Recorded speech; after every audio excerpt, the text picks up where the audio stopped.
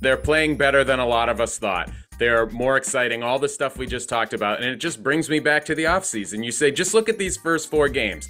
If you had been willing to sign another starting pitcher, maybe Tanner Houck is in the bullpen and you don't lose that extra inning game over the weekend. If you had been willing to keep Justin Turner or sign Adam Duvall or even go crazy and splurge on Teoscar Hernandez, Bobby Dalbec isn't hitting with two guys on in one of those games and striking out. You know, so you just start to look. If you were willing to actually go out and find a lefty for your bullpen, Joely, Joely Rodriguez isn't pitching poorly in two of these games. So I look at it from the perspective of they should have known, someone should have been able to convince ownership hey, this team is actually worth spending on. You don't need to wait another year. Give us some more help right now. Ownership wouldn't do it. And maybe the bigger sin is that no one in that front office was able to convince them. They've been in it, in it each of the last two years.